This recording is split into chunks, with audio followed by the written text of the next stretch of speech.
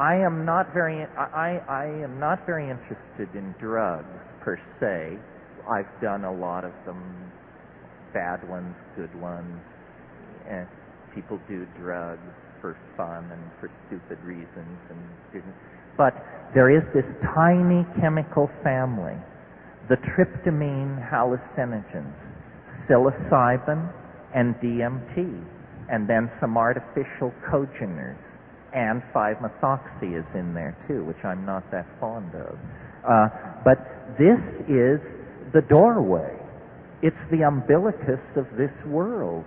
These are things which are called drugs because that's the category we have for things which make the world unrecognizable. But these are not drugs.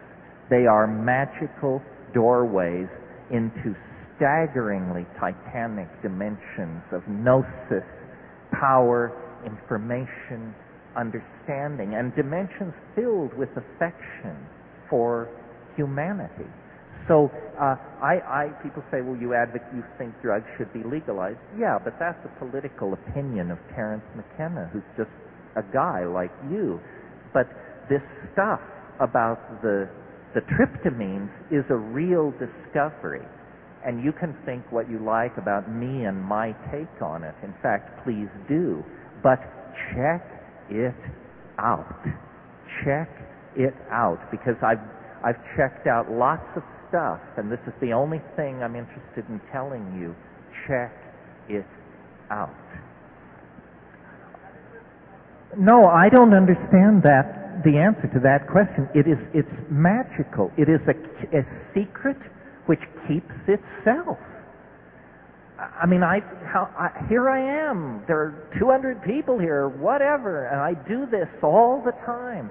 And I have not, so far as I can tell, been able to launch an avalanche of DMT. I'm trying. Do I have to put it any more plainly? Is there a chemist in the house who will go home and make this stuff so that we can find our way there. Or grow the plants. Or go to South America. Or get with lucid dreaming and behavioral modification. Or explore the outer edges of orgasm, which I think has something to do with DMT and probably runs on it. Somehow we need to beach this whale. Yeah.